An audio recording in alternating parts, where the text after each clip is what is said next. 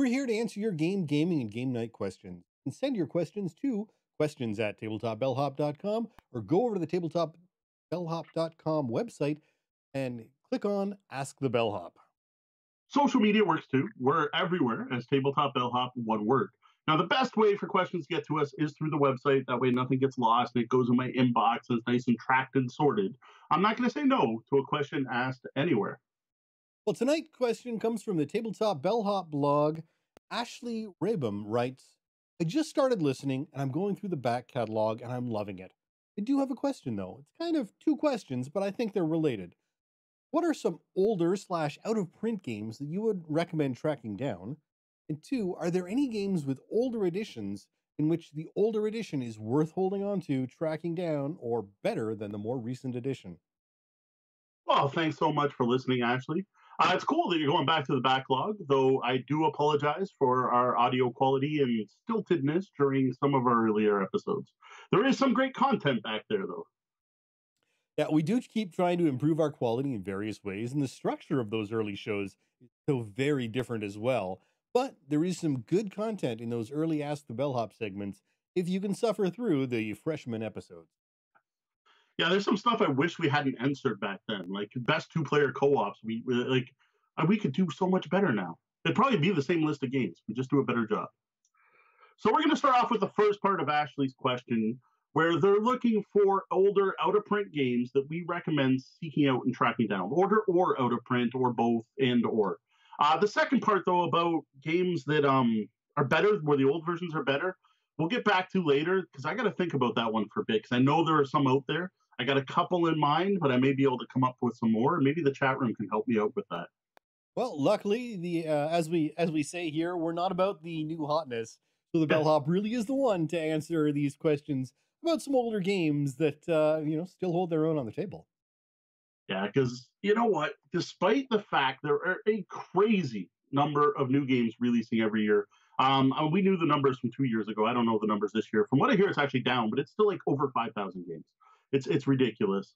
And all of the gaming media out there, whether it's podcasts, blogs, uh, video on demand, whatever, YouTube, everyone seems to be dedicated to the latest and greatest whatever the, the hot Kickstarter is right now, or the games that are coming out in Essen 2021. Longtime listeners of the show probably know, and as Sean just alluded to, we're, we've never really been all about the new hotness. Now and then we get lucky. We've got something like medium we're going to be talking about later. That's that's pretty cutting edge for us, right?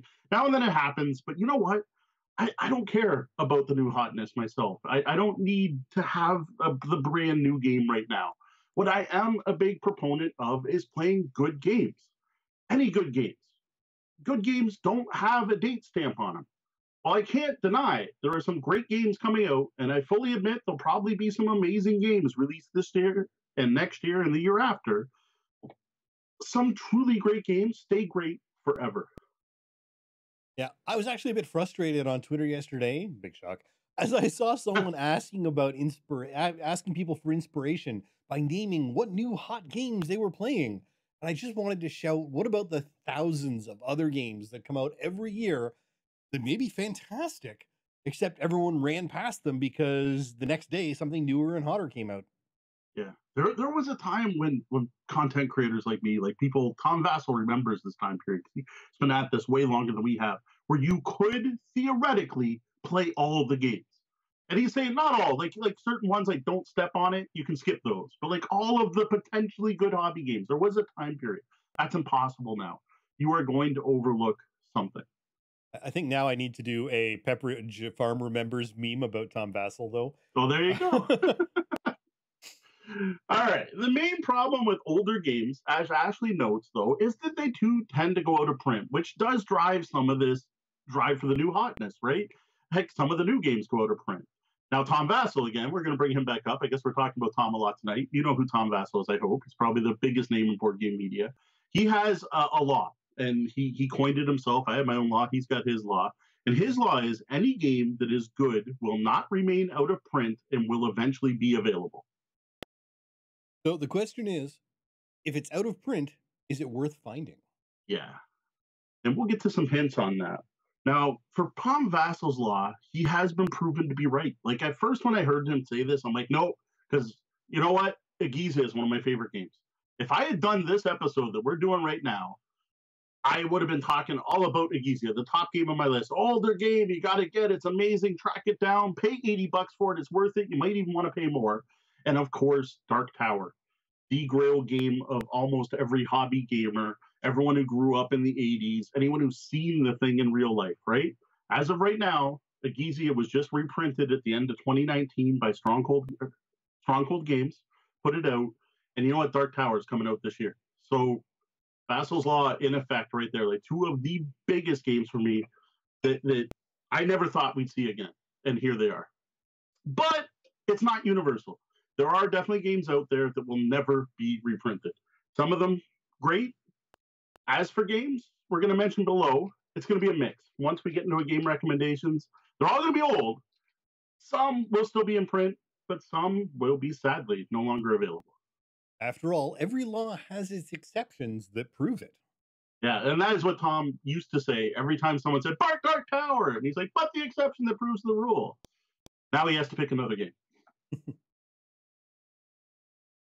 now, in regards to these out of print games, we did an entire episode about tracking down rare and hard to find games, where we recommended some places to look you may not be aware of. If there's a game we mentioned today you can't find, jump back to that episode and maybe we can hook you up. All right. Well, uh, episode 56 of the Tabletop Bellhop Gaming Podcast, Treasure Hunt. Find it on the Tabletop Bellhop blog or wherever you prefer to get your podcast. All right. One final thing before we start. Uh, Ashley didn't specify what they meant by older. Uh, this changes in the industry, in an industry with over 5,000 games coming out every year. Some people consider three years old games a classic. I saw that today. Miniature Mart is having a sale on classic games, and they did this like old school white washed out sepia newspaper, and on it is like the Teenage Mutant Ninja Turtle game. I'm like, come on, like that. Not like the old hat. This is the, the modern new one that was like a Kickstarter two years ago. I personally want to go back. I want to go way back. I'm going to set our definition of older games here for tonight's episode to be games that came out before the turn of the century. So from 1999 back. no, this is going to knock out a lot of games I consider true classics.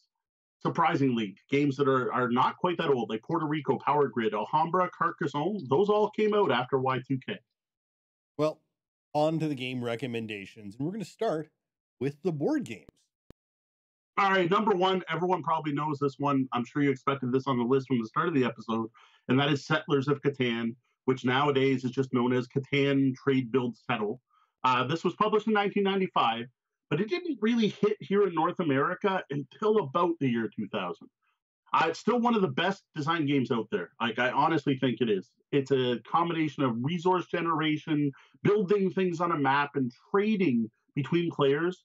Really helped build the Euro game, the German game, the designer game as a genre. The whole ho- hobby board gaming hobby, I it really does owe itself in North America to Catan we still play Catan. I'll admit, not as much as we played 20 years ago, but it still gets broken out. Now, I have to say, for me personally, while Catan is a classic and I absolutely respect its place in board game history, I could do without ever playing it again. It's it's one of those games that comes out every once in a while, and you know I'll sit down and play it, but it struggles to really capture my attention anymore in the world of, of games we have and and games that have uh, you know old even older games from the mm-hmm. time um you know again it it did something for the gaming market that is you know unmistakable and and it needs to be recognized and it shouldn't be thrown out. I mean it needs to be it needs to be there but yeah it's it's not going to be the first of a, a, game i have to pick uh, anytime. See I'm, I'm i'm in the other boat even writing this i'm like you know what i need to bring out the easy mode is catan because it's a classic. Everyone knows it. It's quick to play. I'm not going to have to teach people to play it, and it's great for new gamers. And I still do enjoy playing Catan. One of these days, I'm going to find a counter for Deanna's strategy. I know what Deanna's strategy is, and I know one way to stop it, but I have to find a different strategy that works because she seems to have not broken Catan, but she's found a, a particular strategy that if people don't notice, it tends to work. And I've been trying to find a counter strategy which isn't just stop her from doing that. So I still play Catan this this many years later. I still enjoy it. i will still bring it out to events. Up next, I've got El Grande. Uh, this also was published in 1995. 1995 was a, a, bumper year, actually, for, for hobby board games. At this point, you can find the 10th anniversary edition, as well as a more recently released big box edition, both surprisingly cheap. I personally own the 10th anniversary edition, and I have said, I've mentioned this game on the podcast many times. I use as an example anytime I talk about area majority. This game still is the most pure area majority game I've ever played. Everyone starts with the same hand of cards, and you have to use those cards to move your cubes around the map and make the most points over multiple scoring rounds, all based on who has the most cubes where. Yeah, no, it's it's hard to go wrong when when you're looking at the the pure uh mechanic games. Yeah. And these are the games that started it, right? Like I'm sure that like Risk is technically area majority, but like as far as I know, this is the first game where you're getting points for coming in second and third based on your your folk on the map or the, your cubes on the map. That was El Grande.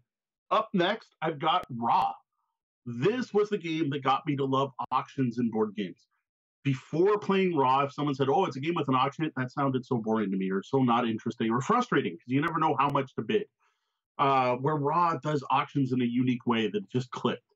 This one was originally released in 1999, so it just kind of slips under the radar, under our, our time limit.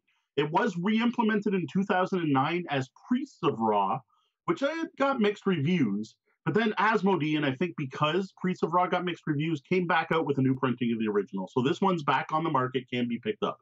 I saw the original printing.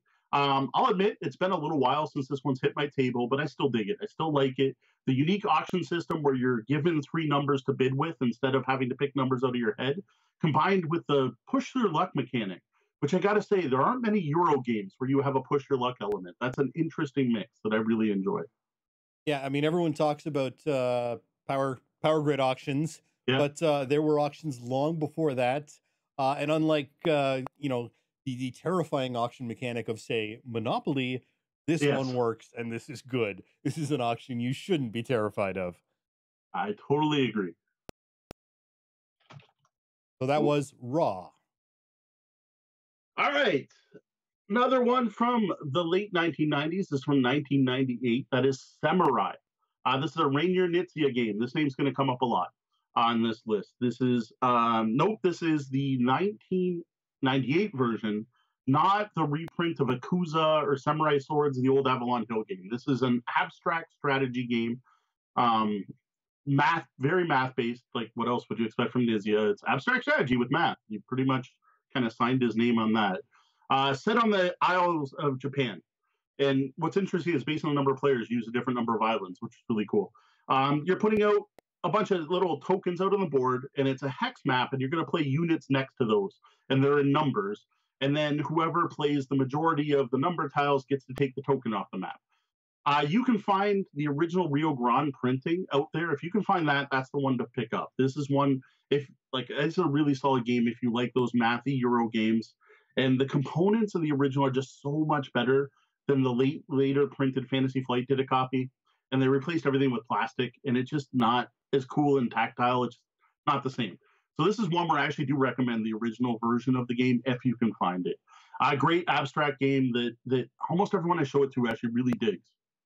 And again, this is Samurai 1998, yes. not the 1996 version, and which is a completely different Samurai. So yeah, Samurai 1998. Uh, Fantasy Flight Games has the current uh, yeah. uh, version. That is correct. That was Samurai. Next, we have the oldest game on this list tonight. Uh, this is Acquire, originally released in 1964 uh, by famous game designer Sid Sackson. This is all about business investments and stock manipulation. Now, the killer app in this game is the fact that businesses are represented abstractly by tiles on a grid, and they grow and form across the board. And if two sets of tiles touch, that represents a merger and then there's a whole economic where your stakeholders get paid out and everything like that. It is really well done. Um, despite what sounds like a ridiculously dry theme, and the fact the game's from the 1960s, this is still one of the best economic games ever made. Still worth playing. This is one that should be on your list to try at some point, Sean, just because it's such a classic And like I was shocked I enjoyed it. Like I knew there were groups that enjoyed it, and I sat down and I looked at it, and it looked so dry, and the, the components are, are are older, right? Like you got paper money, and and the business tiles look like um uh, they remind me of Battleship because they say like H2, H3, H4, but that's where they go on the grid when you place them. It just oh, but it's so good. Like it, it really is. Yeah, no, this is this is absolutely a classic. Um, there may actually even have been a copy of this that I was terrified of in my parents' collection back in the day. I uh, would because they it. they did they did play games like this, but it was one of those. It was it was the games that you know were adults only and and were sort of kept separately from all the games that Yep, yep. you know the general roll and moves that the kids played. So again, that's Acquire. Yeah, that was by 3M Games. There are more modern versions. Components a little better than the original, but there are, I, I- as far as I know, it's still in print by someone. Uh, Avalon Hill has got a, a has, or has had a license. I don't know if they're the current one. Yeah, I don't know if they still are. Avalon Hill, which is Hasbro. So Yeah. Up next, I got Lost Cities. We talked about this one fairly recently. Uh, this is another Reiner Knizia classic that just makes the Y2K cutout. Coming out in 1999, actually late 1999. I have been in love with this two-player card game since discovering it in the game pile at the coffee exchange downtown. Uh, Deanna and I used to actually meet downtown and play it on her lunch break when she worked at the library. So this is going back. Um, just make sure when shopping for this one, this even as much as Samurai, make sure you get the right game because there is Lost Cities, the board game, which you don't want, and there's Lost Cities Rivals, which we've talked about on a recent podcast, which is a four-player version. I hate to say it, but you don't want those. You just want the two-player card game, the original one. It was originally released by Kosmos. I'm not sure who currently has the rights on that one. Yeah. Unfortunately, Lost Cities Rivals uh, kind of fell pretty flat uh, when Yeah. we when we got that on the table. But uh, Lost Cities again, Reiner Knizia classic. Yeah. Um, And you want Lost Cities, the card game, not the board game. Even though it's hard to tell them apart, I apologize. That's uh, blame Thames and Cosmo for that one. Up next comes my biggest surprise being on this list because I, of course, came up with a bunch of games in my head, and a whole bunch of them came out in 2002, 2003, 2004. And I'm like, wow, not Power Grid, not this, not that. This game was the opposite because I would have never put this on the list until going through and I found a Board Game Geek Top 100 list of pre 1999. And sitting near the top of that list was Pitch Car. I had no clue that this game came out in 1995. Like, I, I just assumed it was a much more modern game. Uh, I was shocked by that. Now, I've mentioned Pitch Car, I don't know how many times on this show. It's pretty much if I can slip in a dexterity game, I'm going to mention Pitch Car. Uh, it is my second favorite. I'm not going to mention the first one just because we mentioned that one a little too often, too. Uh, this is Crokinole on a racetrack. Yep. No, absolutely. It's it's a fun game, easy to play, easy to learn, always gets people's attention for its look and its and its play. Can't go wrong with pitch car if you can afford it and you can store it. Uh, just the base game doesn't take up too much room, just one box. But you start picking up the expansions like I did, and, and Pitch Car is so well supported. A new expansion came out last year. Like it's it's still going. Eagle Gryphon owns the rights to that one here in uh, North America. And it's and it, it even has expansions that came out in your time period. Like it's Yes, it just keeps keeps giving. Yeah. yeah, it's a, a fantastic game. Again, that's pitch car. Up next, I've got Chinatown. Now, this is one I missed. This is one, it originally came out in 1999. I heard amazing things about this game. I almost came really close to paying, you know, one of those 80 to 120 dollar prices for it because I kept hearing that it is so good. You got to get Chinatown. Your collection's not complete without Chinatown. But it finally got reprinted by Z-Man Games, and I was able to pick up a copy at that time. I paid full price for it, which is saying something for me, and it was well worth the rate. This is like the El Grande of negotiation games. This game is just pure negotiation. Here's a map of Chinatown. You get five businesses. You get five thousand bucks. You own five properties. Next player's got the exact same thing. What do you do? You're going to negotiate. You're trying to trade businesses. You're trading money. It is so well done, and it's again in its purity, the same way that El Grande is. If you like bartering with your friends, you got to check out this game. Now, the problem with it is if you get into this game now, you're going to be like me back in whatever I tried to find it because it is out of print yet again and going for silly prices. Yeah, unfortunately, sometimes uh, the classics need to, you know, just sort of cycle through, and everyone gets it. And I, I find it happens a lot with these pure mechanic games, right? You've got this pure mechanic, and it's it's really interesting, but it gets a little done, and then other games will take that mechanic and and integrate it with other game, other mechanics to make a what you know, in some people's opinion, maybe a, be- a better game, and people prefer that because of the variety. Mm. Until they've forgotten about the pure mechanic game, and you know, eight or ten years later, all of a sudden, everyone wants to try the pure mechanic, and lo and behold, here comes Chinatown again, Mhm. ready to uh, deliver. Yeah, this is one I do hope comes out again. And Vasel's Law, I hope is, is true for a third run on this one. All right, up next is Bohnanza, which was published in 1997. I was pretty sure this game was way newer than that, so I looked it up, and I didn't actually start playing myself until 2008. So this one took me a long time to find. In 2008, it was still fresh and new to me. Uh, this is another great trading game, ton of fun at all player counts. Uh, the neat part I found with this one, and Sean pointed it out, and it was what made me first think of it when we played on my birthday, is that you can play Bean casually or take it ridiculously seriously. And both ways of playing are a ton of fun. And I've even seen a group with mixed types playing together, and somehow it works. Yep. No, absolutely. I think uh, you know on your on your birthday last year, you Yeah. were you were taking it seriously. Oh yeah, You were kicking everyone's butts, and no one else really cared. Um, we were having fun. We were sort of pushing the limits of the rules. Um, and I think you probably would have had a little more fun if maybe a couple other people were taking it as seriously Yeah. as you were. But it was, you know, it's just an enjoyable game, no matter how you're uh, how you're playing it. Again, that's uh, that's Bohnanza. All right, Torres. This is another 1999. I, it's not like I was trying to keep as close to 2000 as possible. Just man, 1999 was a good year for games. Uh, this was out of print for a ridiculously long time, even longer than Chinatown. Could not find a copy of this. I've got an original printing of it. It's back there. It's from Rio Grande Games. Uh, except for the fact it came in a really stupidly large box for what you get in it. I love this game. This is an abstract building game where you're moving your knights and then building levels of a castle. And there's rules about how high up you can join and how far down you can jump and who owns the towers and stuff like that. It's a fantastic looking game that draws people to the table. Uh, it scores over multiple scoring rounds and has a lot of math for what it is because your scoring is actually at the width of your tower times the height. Um, really neat game. If you played Santorini, Santorini is like the light version of this, where you just have a little tiny bu- building where you're trying to build up to the top. This is like Santorini for advanced gamers. I love this game. Now, this one has a new printing that just came out. I don't know if it's 2019, 2018, but I'm just starting to see it in sales. Uh, that has looks a little better. It's a smaller box, and it replaced the boring pawns because this is an old enough game that you know Meeple were, were weren't invented yet. There was no Carcassonne. They, they had pawns, wooden pawns that looked like pawns. And now the new version, they're like they look like little knights that are carved. They, they remind me of uh, the Viking chess pieces. And I'm like, oh, that looks so much cooler. Except I already own Torres. I don't really want to rebuy it just for cool looking knights. But this is one that I think is worth picking up. You don't need to find the old version; just pick up the new. So uh, the newest version I can find is actually 2017 Oh, reprint. it's older than I thought. Yeah. Okay. So that was uh, that's the uh, published by IDW Games, the English fourth edition, 2017. Okay. Fourth edition. Wow. Yeah. So maybe there were three editions in between. I don't know what edition mine is.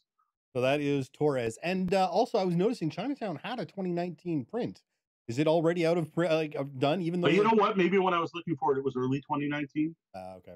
I'd have to look. I, there- so maybe this one's out. Maybe it's out there. Maybe So China, Chinatown did have a 2019 edition that came Okay. out. See, I'm trying to remember when I saw it was no, because I didn't get my copy in 2019. I got mine in 2017. So Right. yeah, so it has come out. So there you go, Vasel's Law. All right. Well, that what that's Chinatown, but also that last game was Torres. Yes. All right, up next is a classic. I know Sean's going to recognize. Uh, that is Space Hulk. I still remember the day I got White Dwarf number 113 back in 1989, which introduced the world to Space Hulk and Terminator Space Marines and Gene Stealers, the new threat to the Imperium. I got the game pretty much immediately thereafter. Um, we took a trip up to Toronto where there was a Games Workshop store just to get it. Uh, this is still, in my opinion, one of the best two-player Amerithrash style games out there. Like even Deanna, who is a hardcore Euro fan, loves Space Hulk. Every random D6 rolling aliens popping out of the corners gameplay, one of the most thematic games out there. every five to 10 years or so, Games Workshop will put out some deluxe printing with new minis and glossy boards and all that. I, I did buy one of those. It's behind you back there. It was the first time they reprinted it. They're pretty, but I still love my originals 80s edition, especially with all the expansions and stuff that are out there. Yeah, no, my, uh, Space Hulk is is amazing. I still remember uh, the look of Genestealers when they came out because it was different enough than the Giger alien concept yeah. to w- with that insectoid uh, feel that just kind of had its own level of terrifying, different mm-hmm. different than the the uh, the Giger version of uh, an alien. So that was Space Hulk. All right, sticking with Games Workshop, how about Hero Quest? This is the other one that I assume everyone listening, everyone watching from home, however you're seeing it right now, expected to be on this list. This is one of the most famous games published in a partnership between Games Workshop and Milton Bradley. And due to that partnership and the fact those companies, Milton Bradley being gone, we'll never see this one reprinted again. Uh, people have tried and tried and tried. Uh, this hit markets worldwide in 1990 and at this point is one of the most sought after board games for many gamers. I, I gotta admit, I got it back when it was new. Uh, I was into Warhammer already, so a Warhammer board game that looked, uh, you know, wasn't Games Workshop looked awesome. Um, little inside scoop: when Deanna and I were dating, one of the things we did together on dates was played through the original Hero Quest campaign. I'm always going to have fond memories of this game, both for that reason and the fact that I just loved it before then. Uh, what I really should do is get my copy out, play with my girls. They haven't had to experience that one yet. Of course, I'm going to have to steal the scenery back because I've been using it for Gloomhaven. Uh, and this is one of those games where even though we may never get the real edition out again, um, those who do have it are, you know, suffer from a wealth of content because oh, yeah. so many supplements came out for this, and you know, so many different magazines printed content for Hero Quest, and just so much came out for it that uh, if you do manage to lay your hands on a copy, there's a lot out there beyond what comes in the box. And that was Hero Quest. All right, up next, Primordial Soup. I have to thank uh, my friend Jamie for introducing me to this game. Uh, it's a, his favorite game of all time. Now, I didn't realize this is another one that until looking at uh, that list I mentioned earlier that this is from 1997. I didn't think it was quite that old. So it does kind of explain the component quality. Uh, this is a fascinating game where you play a bunch of amoeboid organisms floating around the primordial soup, and you go around and feed on the poop of the other players, amoeboids. And as you feed on the poop, you improve your genes and slowly evolve your species. And you're trying to increase your population and your gene sophistication. Uh, it's a fascinating game with, I got to say, one of the most unique themes out there, even to this day, that I still greatly enjoy. Now, this one is long out of print, so I've been able to find copies of the base game. What I can't seem to find anywhere for a reasonable price is the expansion that was released. They only put out one, I think it's called Freshly Spliced. Spiced. And I can't find that anywhere for non ridiculous prices. Like I'm gonna have to trade a copy of Hero Quest to get it. Yeah, so the year after, in 1998, they came out with Freshly Spiced, uh, the expansion. Um, and now, interestingly, the original game did have a reprint in 2004. Okay. Uh, and then the Primordial Soup had a reprint in 2007, both by Z-Man Games. Okay. Yeah, the version I have, I think, actually is from Z-Man. So, right. Z-Man. But since then, that's still that's been 13 yeah, yeah. years now. It's still so it's still quite a while ago. Even that's still that. quite a while ago since that one's been back. And that was Primordial Soup. All right, we talked about Settlers of Catan, but who had the game with the plastic ships that you shook and flipped over that had little beads fall out to tell you how far you moved? That was Starfarers of Catan. Uh, this was a huge grail game for a number of people for a very long time. Uh, this is another one, 1999. 1999 seems to be the year that hobby board gaming like just blossomed. It's been long out of print, only to see a fresh new release last year. 1990, they came out with a new copy of this, and I need to see it. I want to see it. I, I, I have the original. Um, it came out in 99. Um, I have the five to six player expansion for the original as well. Um, it is so much more than just Catan in space. And if you want Catan in space, you can get that. That's Star Trek Catan, where you use the same map and you have the Star Trek crew. This is completely different. You are upgrading a ship. There's a pick up and deliver element. You meet alien species to get special powers. Um, and then there's even a story element where if when you fly through space, the person next to you grabs a card off a deck and gives you options. Very cool game. Uh, it's been my preferred way to play Catan for many, many years. Yeah, no, and uh, the, while the ships are not exactly the same, they are very, very similar. The pieces yeah. go on, all the you know the roll them over. Um, it's it's they've they've stuck to it very well. The biggest thing is they've rebranded it. It's now Catan Starfarer oh. rather than the Starfarers of, of Catan because they've rebranded the entire Catan series yeah. in that same manner. It's where it's Catan first, and then you know, pulling whatever else you you want to stack on the end. Which I always thought was weird because we never used to call it Catan. Well, it must work because now I do. but back in the day, it was always settlers. You want right. to play settlers? You want yep. to get together and play some settlers? We can play some settlers. Want to play some starfarers? And that's how we talked about it. Well, it must have worked. The, the rebranding must have worked because I just realized this whole episode, I, I, except for mentioning that it was called Settlers. Yeah. The one problem is if you can find the classic edition, you, if you can find one in mint shape, like it'd be worth a fortune because those ships were made of a very fragile plastic, and they break. And every copy printed everywhere breaks. Eventually, they offered these plastic rings you could put over top of the broken ships so they could at least hold the engines. Uh, so if you can find a copy without broken ships, good on you. Mine are all broken. Every ship is broken. That was a known problem with the game back in the day. I even ordered replacement ships, and the replacement ships showed up and they broke. Like I don't know what the plastic they used. You had to notch in these little engines, and the clips broke off. Like I, I don't have every clip on every ship isn't broken, right. but I don't have a single ship that is hundred percent complete. So in this case, you probably just want to seek out the new copy anyway. Yeah.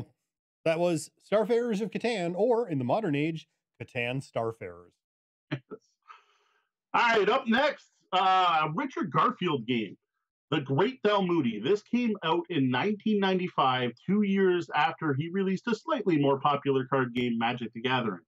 Now, from my understanding, he actually designed Dalmuti first, but couldn't get anyone to publish it. But then he got famous for putting out Magic, and he went, "Well, you let me put out Magic. How about I put out this card game?" Uh, this is a ladder-based card game, which that's where you have to beat the last person's play of cards. That's basically a gamer's version of President, Vice President, or that other name for that game that I'm not going to say on the show because we're family friendly. Uh, the neat bit here, though, is there are way more cards. You get 80 cards, and the neat thing is you have 12 12s, 11 11s, 10 10s, 9 9s, all the way down to 1 1, which is the Great Dalmuti card. There's some really fun mechanics here with the greater peon, the lesser peon, the lesser Dalmuti, and trading cards.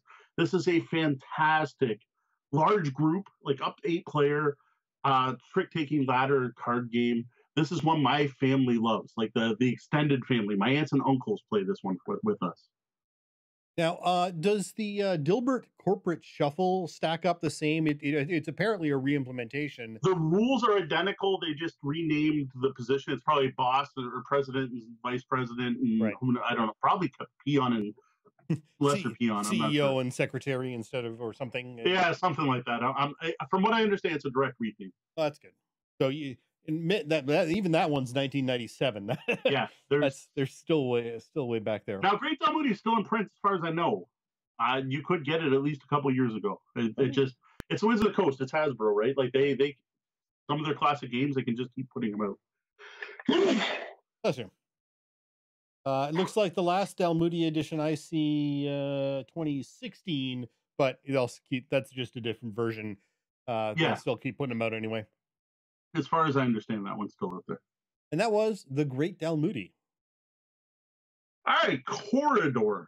This is a mass market abstract strategy game uh, that you used to be able to find in stores that sold puzzles, uh, pool tables, darts, stuff like that or stores that sold desktop toys. Uh, the local stores that had it were Dufferin Game Room, and then the um, rather inappropriately named the Man Store at the mall from back in the day, uh, where they sold to uh, mostly office furniture and desk trinkets like you know desk golf and stuff like that. Uh, this was released in 1997 and is a fantastic looking wooden abstract game. Just one of those games you leave out on your coffee table kind of like having a chess set out, right? And then when people come over, you teach them to play. It's a really simple game where the only goal is to get your pawn from one side of the board to the opposite side. But there's all these walls that can be put in the way. And each turn, you either move your pawn one space or you move a wall. And that's pretty much it. It's dead simple to learn, but surprisingly deep in actual play experience. So uh, there's also a Quoridor Kid that came out Yep. uh, a few years later. It's uh, that broke the one thing, which is the same thing, but it's a uh, it's a smaller board and it's a much more bright and colorful version of the uh, Yep. of the game. Not, your not your executive map. version. Yes. The executive version of Quoridor. All right, All and that was that was Quoridor. With a Q. Yeah, Q U O R I D O R. As far as I know, you can still get copies of that. It's it's it's mass market games tend to be around. If you can't find Quoridor, you'll be able to find a knockoff. That's definitely true of that one, which is somewhat unfortunate for the original designers, but it's one of those games where you can just find anywhere. All right, I have got one more. It's a longer list than it felt like it was when I was writing it, and that is BattleTech. Uh, we're going to make Red Meeple Ryan here happy, and I didn't even plan for this. Uh, this is a classic hobby game from the 80s, uh, 1985 to be exact, though the original game was called Battle Droids and might have came out before that. But I'm thinking about my copy of BattleTech. I still have it. It's back there. Uh, this is before the days of miniatures and plastic and everything. Mine has cardboard standees for your mechs. Um, well, the game has changed hands multiple times. It's no longer FASA. It's gone to other companies. There have been multiple editions released over the years. Like uh, we were trying to look this up the other day, and it was something like 11 different editions of BattleTech have been released. What's really surprising is that the current rules, which are put out by Catalyst Game Labs, uh, are like surprisingly similar to the original. Like they have changed almost not at all. The the core system that FASA created, whoever the designer was of that, and it's bad on me to not know the actual designer of BattleTech. It's probably a team. Hasn't really changed in 25 years, which that alone is a really good sign. Now it's a war game that's going to take you a long time to play, and it's it's a game of points and building mechs and tracking little balls and filling in. Like it, it- it's a very different kind of game than most modern war games. But you know what? I don't do it often, but once, twice a year, I would love to get down and sit and play some BattleTech. Yeah. So the uh, original design team is Jordan Weisman, uh, L.R. Butch Leaper, and Forrest Brown.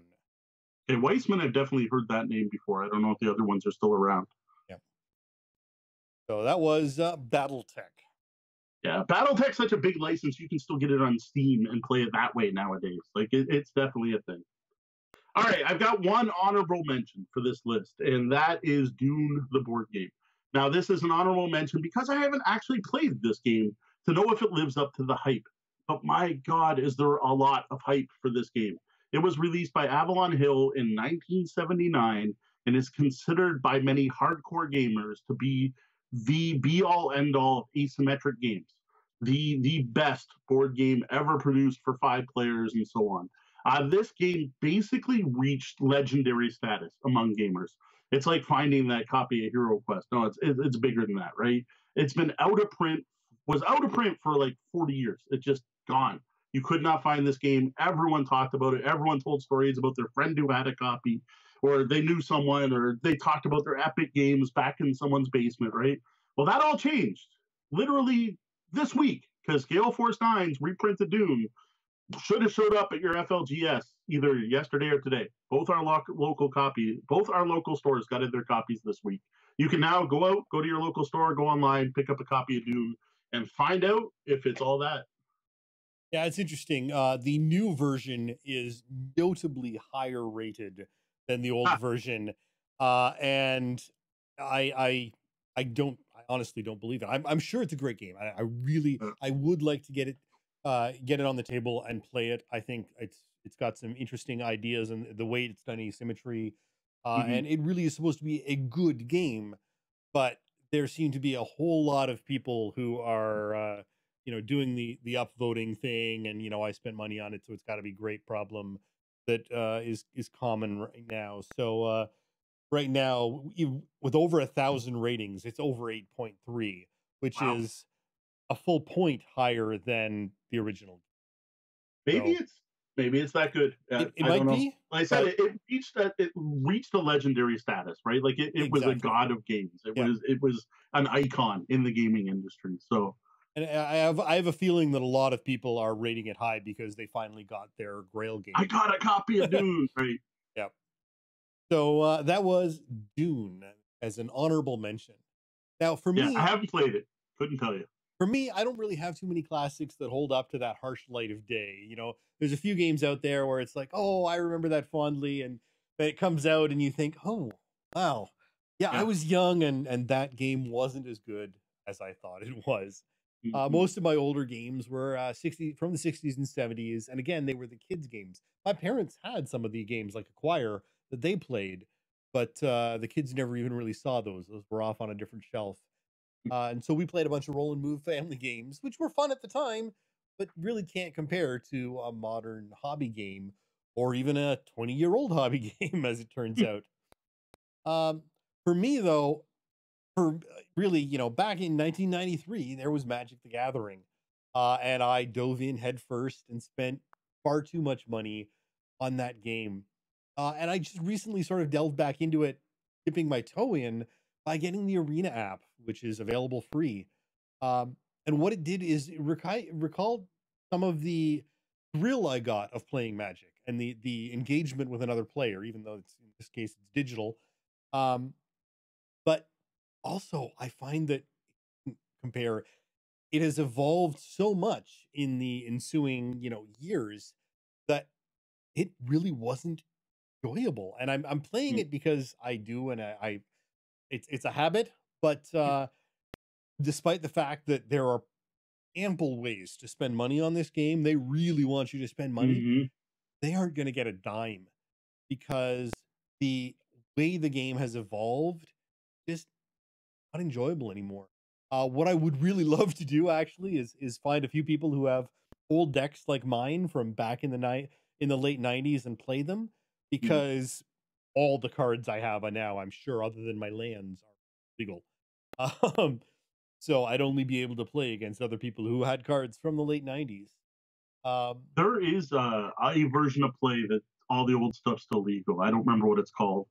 yeah, I would a, love like a number of, of strange versions and, and, and oh yeah, that's the other thing with Magic is I don't know. They're they're like we're playing champion, we're playing two headed giant, we're playing. I'm like whoa, whoa, yeah. I have no idea. Um, this is something like man, if if it only was last year, I'd be like bring a deck down. But unfortunately, we have sold all our cards. So yeah, yeah.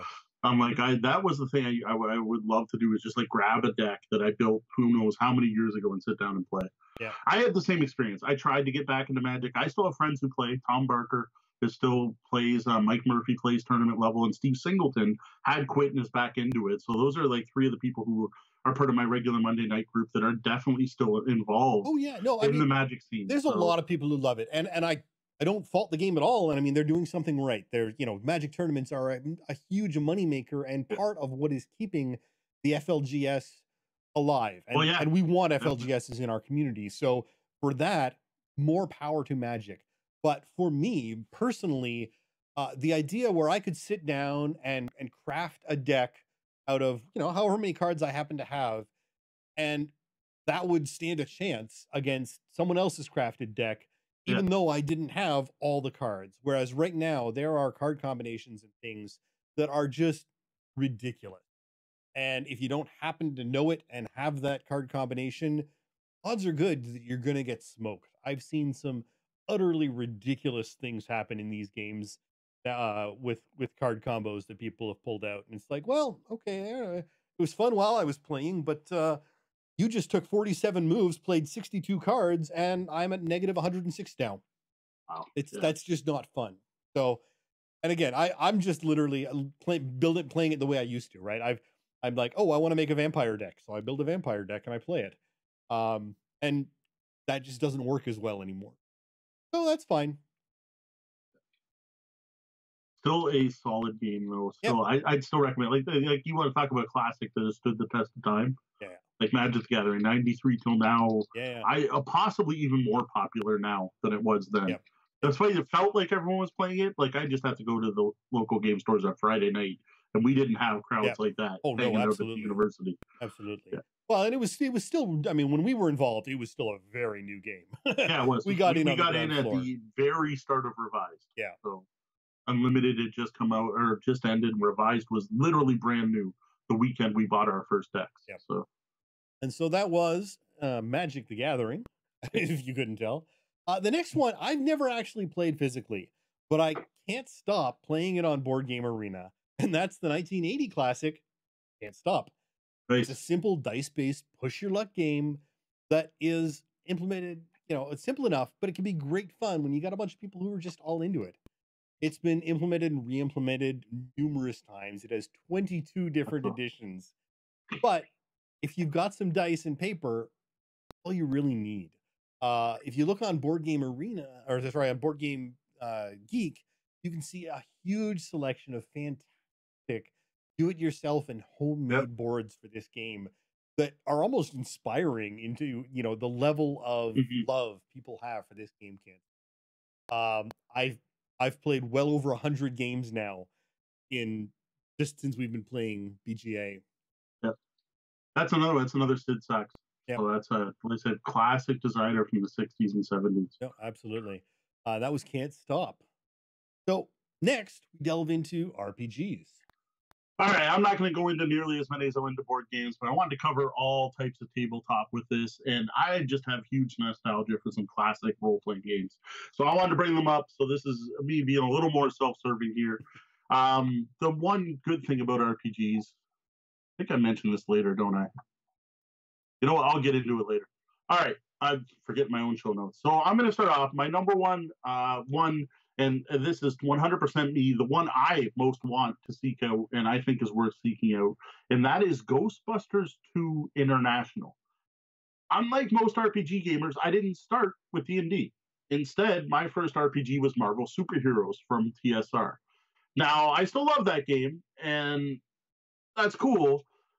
It's okay. It kind of stood the test of time, but the game I want most is a copy of uh, Ghostbusters 2 International. This was released in 1989, and this was the second RPG I ever got to play. And it's one that I just never owned. I never had it myself. Uh, it was put out by West End Games, and it featured a light version and twisted, somewhat twisted version of their D6 system. Now, the reason I'm looking for Ghostbusters 2 and not Ghostbusters is after doing some research, it comes with more stuff, more cards, it's got some more sheets, and it's got like a Ghostbuster pledge and all this cool stuff. They slightly tweak the rules, and it's generally regarded to be a slightly better game than the original. So if I had to get one or the other, I'd rather have Ghostbusters 2 than the original game. that was ghostbusters international rpg or Next is Paranoia Second Edition. Now, while Paranoia is still going strong, and I recently did an actual play of a video game version, what's out now is a very different game from when I first explored Alpha Complex as a teen. Nowadays, the commies are gone completely. You don't mention them. And the system's card driven, D6 based, where you need a card of hands to do actions. I don't know. I always had a soft spot for the original D20 system. Uh, to be honest, the first RPG I ever wrote myself stole the system from Paranoia because I was really frustrated because Paranoia told you to ignore the rules, and I'm like, but they're actually really good rules. So I decided to write a game based on them. And I'm I'm sorry, they're always going to be commie mutant traitor come to me, even if I run the new edition. We're we're we're we're not commie friendly here in my household. I'm sorry if that's not politically correct, but my Paranoia's got to have commies in it. Of all the editions of Paranoia, uh, they're still coming out. I prefer second edition originally published in 1987. West End Games, that's the one to me that is the most true, the nostalgia. That's what I want to play. Yeah, no, it's it's it's hard to go wrong with it, and it really was part of the joke where they actually had a really strong system and rules system in place in this game that they told you to ignore. Uh, and Yeah. they knew it. I mean, they were. It was it was definitely part of the joke that uh, here have this awesome game that we don't want you to play. Yep. Because then you'd become. Exactly. Uh, and that was Paranoia Second Edition, way back in 1987. All right, here's one I know Sean's going to agree with completely. Deanna probably as well, and that's Warhammer Fantasy Roleplay, first edition from Games Workshop. Later, Hogshead Publishing, but the Games Workshop edition, Hogshead's the same, same book. I am a huge Warhammer fan. I have been since finding issue 100 of this magazine here, White Dwarf. Uh, that's how I discovered it. Um, then went on to a trip to Toronto, went to my first Games Workshop store, picked up Warhammer Fantasy Battle, the hardcover rulebook, dove into, oh my God, I love Warhammer Orcs. I've been a Warhammer Orc fan since that book, Warg. Uh, played a ton of Games Workshop games over the years. Still pick up almost anything that has the Games Workshop name on it. But Warhammer Fantasy Roleplay is the one that I keep coming back to. Despite the fact that I tell you I love Space Hulk, I can't tell you the last time I played Space Hulk. Warhammer, though, oh, I love those books. Now, I ran a great campaign of Warhammer 3rd Edition. I tried Warhammer 2nd Edition. I was not a big fan of that one. Of all the versions I played, I still have a warm spot in my heart for the original 1st Edition Warhammer. Something to do with the black humor in that game that they just never captured in the later editions. Now, there is a 4th edition out there. Uh, I think it's Cubicle 7 puts that out. I haven't had a chance to check that out yet. So I don't know. I, I just can't see it beating the original for me, but you never know. Maybe it's worth checking out. All right. Huge love for Warhammer Fantasy Roleplay. I mean, it's one of those games where it's it's my D and D because it was that fantasy uh, immersion that I got into first, uh, rather than D and D, as as many people did. Uh, it's that not it's not low fantasy, but it's lower fantasy. Uh, the magic system was there, but the, they never really printed the magic book, and it it showed up eventually out of uh, the ether later. Um, and so it was a grittier sort of uh, thing. And the fact that chaos was encroaching, you weren't going to live long, happy lives. There was no giant palace with millions of retainers and a happy life at the end. You were going to die. Um, and so what you were trying to do was really just get in there and make the most of your life while you could. Uh, yep. You you weren't going to re- uh, you know retire on your laurels at the end, and, and that had a, a real solid feeling for me. Yeah, that, that's part of what I love about Warhammer too. It's all about surviving the day, yep. win the battle, not the war. But I always like that aspect, and the, and the small band fighting against impossible odds. Right, being a Star Wars fan, that always appealed to me. Right, and that's yep. something I didn't realize till I was older was a big part of Warhammer. It, it's it's very much the evil empire, and and both empires being evil in a way. Uh, plus, I always liked the politics of it. Warhammer was a very political, city-based game. It was yep. very power behind the throne and corruption, which was very different than delving dungeons. Literally, power behind the throne in one case. Yes, yes. But that was uh, Warhammer Fantasy Roleplay First Edition. All right, up next, we do have some Dungeons and Dragons. I couldn't put it, not have it on the list. I'm gonna frustrate a bunch of OSR people here probably frustrate some other people. Uh, this is the one I'll probably get the most flack for because my favorite edition of D&D is AD&D second edition using skills and powers and all that goes with it, the player's option books. Um, I've people who dig older D&D don't look kindly on second edition much, but this is the game that got me into D&D. It wasn't my first D&D experience. My first was oh D&D and it was horrible, which is part of why I didn't come back to it until second edition. But what got me in second edition was the setting material. And yes, I realize it's what kind of killed TSR was the glut of it, but just there was so much out there. There was so much great stuff, stuff like Dark Sun, Planescape, Al-Qadim, and all the amazing worlds with all the artwork and Brom and Baxa in particular really caught me. Like Dark Sun being my favorite. And I loved AD&D for that. And then it just started to shine even more for me and my group near the end of its run. And this was, you could see the roots of third edition in it, and those are those player options books, with the most important, the biggest one that changed the game the most being skills and powers. Now I know most D&D fans hate these books, they scorn them, but they also didn't like using encumbrance rules and weapon speeds, and I love that stuff too. So I, I personally love skills and powers. I love the options presented and the flexibility of that. It was like having all the little brown books in one, and you could build anything you wanted out of them. And to me, that just was the icing on the cake for D and D in that time period. Yeah, it was it was a nice move to get rid of the brown books. Uh, as yeah. much as the brown books had some fantastic content in them, the fact that you know to play all the characters you might want to play over here, you had to buy these stacks yes. of little brown books that weren't cheap. But you know, at the time, um, you know, it was an investment if you wanted to get more than one of them, basically. Uh, and so to be able to do that within skills and power without the uh, without all those little books was fantastic. Well, I mean, I love the brown books, and I No, no, think we had all of them by the end of it. They were good, but it was nice to have one book Yeah. that let you do all of that. Absolutely. Yeah, yeah. So that was AD&D second edition with skills and powers. Really to Yeah, piss people And off. I, I'm sure I hear people booing in the distance, but hey, I love fourth edition too, and I get way more flack for that one for some reason. All right, my final RPG goes to a very specific box set, actually. Uh, while I do love the game system that, but this box set is the Star Wars Introductory Adventure game. Uh, this was released by West End Games for their Star Wars D6 role playing system, and and this was one of the most fun RPG box sets I've ever had the pleasure to run. They did a fantastic job of telling a Star Wars story without having to use any of the main characters or any of the main actual plots. It was very well done, and that rules light version of D6 that just did a great job of capturing that cinematic feel of Star Wars. Now, the West End Game Star Wars system also gets credit because that system kept Star Wars going when the movie stopped. A ton of what was written for West End Game Star Wars became official Star Wars canon and became part of the mythology and the lore and spawned books and comics and everything else going. It is literally credited for keeping that license alive between the period of when the movies came out and when George Lucas decided to return to the director's chair, where things kind of went a little pear shaped, we'll just say.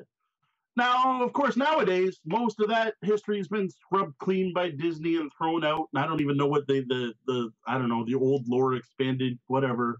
But you know what? There is some amazing stuff to be found in those books there. Uh, well worth reading, even if you don't ever plan on playing the RPG. Just like picking up those old source books from West End Games, just fascinating stuff to read. Yeah, no, absolutely. There's so much out there. Uh, it's amazing what uh, what got done, and and you know, it's a, there's a tear in my eye for uh, what has happened since. but uh, you can't can't uh, stop the corporate machine sometimes. I just they could have incorporated that stuff. That's what it was. Just the the scrubbing that, that that immediately gave me a bad taste for everything new that came out afterwards. And that was Star Wars from West End Games, but specifically the introductory adventure game. I really recommend, like, if you can find a copy of that, it's, it's not that hard to find. It's not that expensive. Just a really good adventure to throw you into that universe with like pre-gen characters and everything. Now, as for games where the older printing is actually better, remember that was the second part of the question. We, we finally got to it. I can think of a couple cases where this is true. Now, this is very much an opinion topic. What we may think may be great old games, as exampled by some of our RPG picks, may not match your ideas, and our thoughts are almost certainly colored by our experiences and the rose-colored glasses that those may imply from our youth. Yeah, very true. Now this one, I'll admit, I'm not a fan of. This this one's not for me. So these aren't my rose tinted glasses, but um, a local gamer I ran into today, Charles Frank. This is his favorite game. There are a few locals that swear by this, and this is the old Avalon Hill Civilization board games. There's two of them. There's just Civilization, and then later was released Advanced Civilization. Now these are the games that Sid Meier made Sid Meier's Civilization, right? Like the the, the video game series everyone knows started from these two Avalon Hill games these gamers, these local gamers, think that these are the be all end all, beat out every modern civilization game that's come out since, including the Fantasy Flight Civilization, Through the Ages, which Sean Deanna and I played, Nations, Clash of Cultures. According to them, they're all crap. Play the original Avalon Hill version.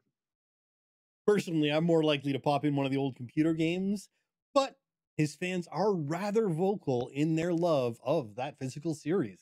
I've heard People. Charles uh, opine on it uh, to uh, to no end. Yeah, I'm surprised it didn't come up today while we were at the dentist. Uh, Mega Civilizations is new thing. Now that's modern. That's not old. That someone took the old games and made it play like 12 players or something ridiculous like that, and it takes 13 or so hours to play. And oh, the people who love it love it. All right, now here's for one of my own, and this is the original printings of Acquire, the 3M bookcase version of Acquire, published in the 60s and 70s, that included plastic chits. I guess it's probably not the right word, but like upward stackable. The the company board was a plastic board with plastic pieces that that, that slot in. most of the modern versions of Acquire have replaced those with uh, like cardboard, and it's the original. That it's that tactile nature of the plastic, which really it's an abstract strategy game, and it probably shouldn't matter. But there's just something about that feel that I I, I personally find. And you know what? You can usually find copies of Acquire at things like thrift stores. So in that case, you might even have to go to antique stores. I, the our copy came from an antique store in Harrow, and they, they pop up now and then the older Sid Sackson, Sid Sackson games. Yep. Now, here is one I strongly suggest. Personal preference here. I know local gamer Roger would disagree, but anyone who has tried the modern Robo Rally, the one that's out now from Hasbro, Wizard of the Coast, I don't know, or Avalon Hill, I don't know which of the three companies that put the logo on, but it looks like a it looks like a Hasbro game. It looks like a kids game. Uh, if you play this, it's a solid game. It's fun. Go try the original though. Besides having much better components, including metal miniatures and more cards and thicker boards, uh, the gameplay is actually quite a bit different. For one, you don't need to have your own deck. Damage counters actually go on your mecha. Uh, there's all kinds of upgrades. There are a ton of different big box expansions with multiple boards that all have new elements, stuff that you don't find on the new boards. Things like flamethrowers and pushers and plungers and lifts, all stuff that's just not in the modern game. This is a game that I most and again another Richard Garfield going back to to uh, Magic Gathering fame. It's it's one of his earlier games. This is a game I would love to see a modern reprint, but a modern reprint of the original, not the I don't want to call it crap, but not this new, easily more accessible Robo Rally that's out there now. I still think it has a place. It should be the intro. It should be the intro game, the family edition. Yeah. But I still want my old almost BattleTech level, a little bit more gritty, a little bit more to track, a little bit more going on, and a little more complex. Yeah, I think we've spoken about this a few times on the show, and the new version is great for an introduction to the game. But you know, you can't beat that feel of the older one, even though some people uh, are already disagreeing in the chat room. yeah, oh, I love the version. Yeah, I have the version with the metal minis. I have the original, the original uh, Wizard of the Coast printing, I think. I have it and all the expansions. I have everything you can buy for the original Robo Rally I own. And those are some games that I sought out and paid good money for that were out of print. The Armed and Dangerous expansion in particular was particularly hard to find. I bought a copy off eBay. That was one. That was one of my favorite games uh, before it got beat out by Power Grid. And then later Wallenstein. Both which came out after 2000. All right. When we get into RPGs, right? For older games that are better than new games. There are a lot of people out there that are going to mention their favorite game that they grew up with. There are a lot of older gamers who shun modern games completely. Uh, remember number uh, 74 from a few episodes back? There's one of them. Uh, some of these people love and play the classic games to this day and still play them. Along with this, there's the whole OSR thing. I don't know if you've heard of that before, but it generally stands for old school renaissance, though people have other versions. And this is modern gamers, modern games, modern designers creating and playing games that have that old school feel. Uh, these are games like Dungeon Crawl Classics that I've been talking about recently, and games like Zweihander. Zweihander is a modern update to Warhammer Fantasy Roleplay First Edition. Um, what's great about RPGs, though, and this is the thing that really shines when it comes to this particular topic, is almost all of these games are still available you're going to be able to find a PDF of almost everything. And please find a legal PDF and pay for it. You are going to be able to find them. Plus, you can still get print editions for a lot of these. If you go to Drive Through RPG, you can print the AD&D, uh, no, sorry, the Dungeons and Dragons Rules Compendium, which is considered by the old school gamers to be the gold standard of classic D&D. The whole BECM, BECMI, whatever you want to call it, all in one book you can get a modern version printed for about 20 bucks. It's amazing. Like almost all these old RPGs you can get printed. Warhammer Fantasy Roleplay, despite the fact Games Workshop wouldn't do it, as soon as Critical uh, Cubicle 7 got the license, they released all the books in PDF. If you want to try out Warhammer Fantasy First Edition, you can. Yeah. Now, one thing about the older RPGs, even more so than games, is that the content within them may be problematic in some ways that people now find offensive. Pronouns, sexism, racism were a part of these games, and many modern editions have, for the most part, not completely, but have come a long way in trying to fix some of those problematic issues that existed in older versions. You will find, you know, the he pronoun used excessively or Yeah. the she pronoun used universally for everything or all the different things depending on you know when it was released um and and some of the the racist origins of races in fantasy games exist. Now your sensitivity to that may vary um if you can deal with some of that. Again some of these systems are still really good game systems they just have some writing that in the modern day problematic. No, Very true, very true, very fair.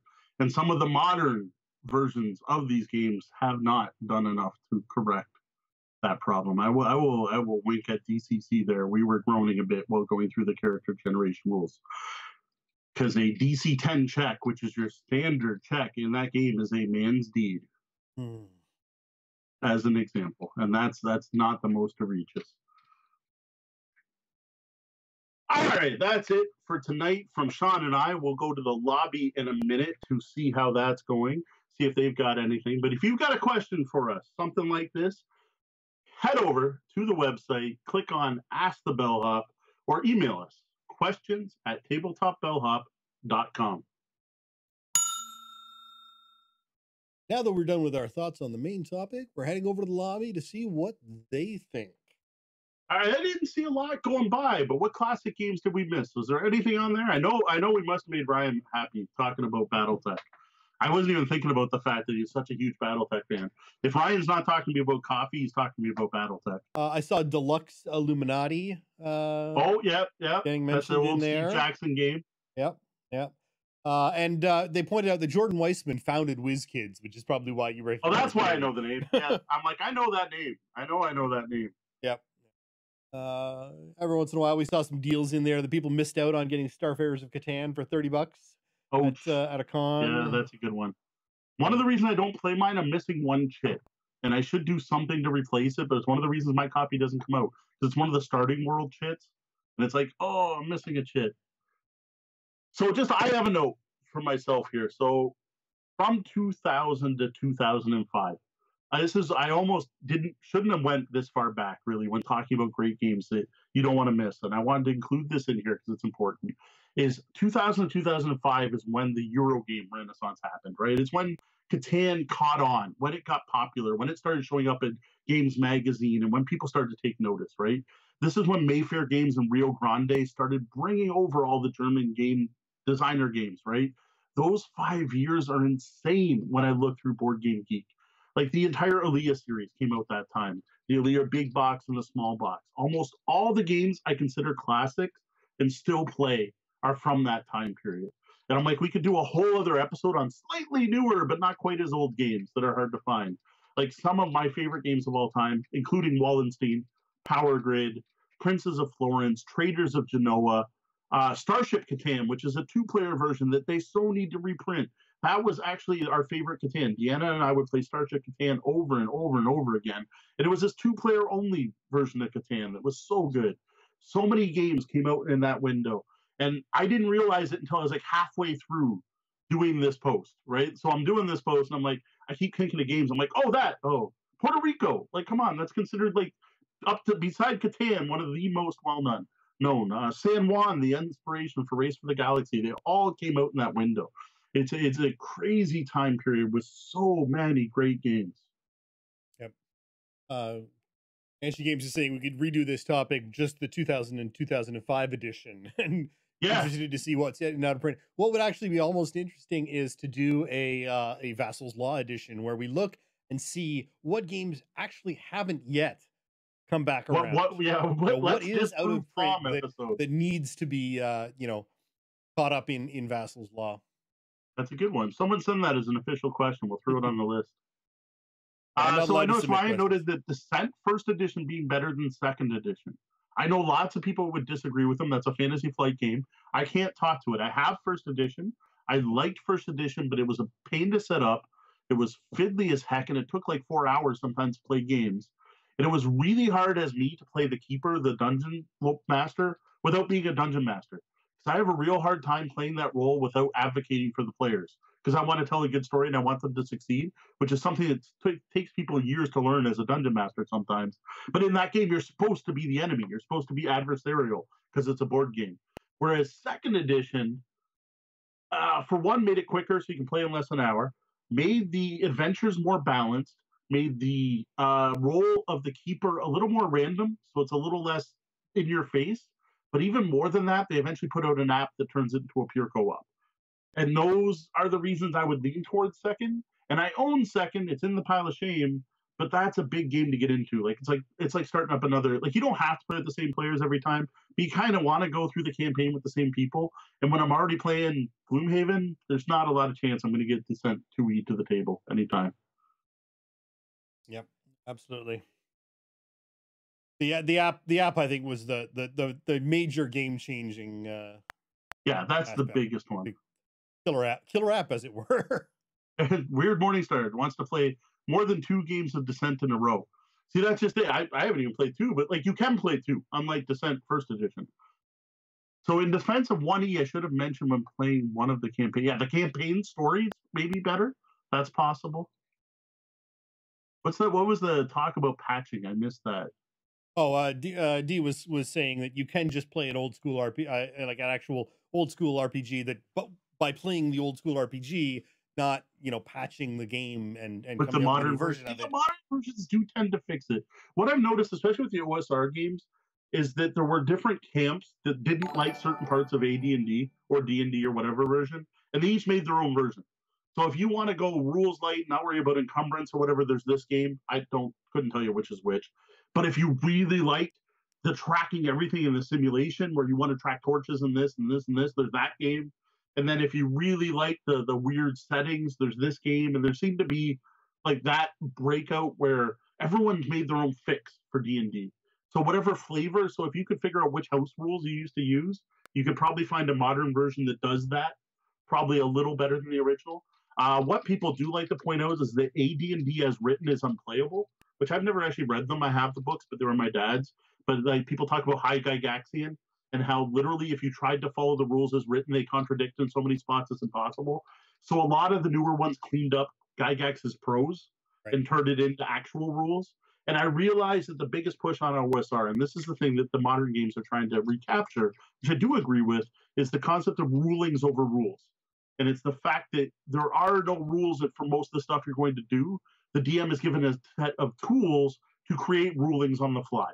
And that is the biggest change and that's a pushback against d&d 3.5 and 3.0 where it was the opposite where it was monte cook days and they were trying to make the game more of a competition and they're trying to make it more organized play where everyone would have the exact same experience at the table no matter who they play it under which i think is also a very valid way to play and something that, that makes sense to strive for. But the two those two types of play are very much at heads with each other and that's where you get the main two camps in role playing then on the other hand, you have the people on the forge making modern story games going, why do we need game masters? And everyone should tell the story at once and doing their own thing, which has spawned into the apocalypse worlds and everything else of today. Yeah, no, it's uh RP we I mean well, there are entire podcasts dedicated to this yes. sort of thing on RPGs, that's for sure. Yeah, I, I we I uh, we talk about RPGs. I have no problem talking about RPGs, but I think there are other shows that do a better job deep diving stuff. Like Absolutely. This. Not it's it's we know it, but it's it's again, you need to spend so much time going into the minutia yeah. of the the various camps and things that uh it's it's tough. Uh well, I think that's about it for the lobby for now. We'll uh we'll, we might see, pop in later and see what's happening.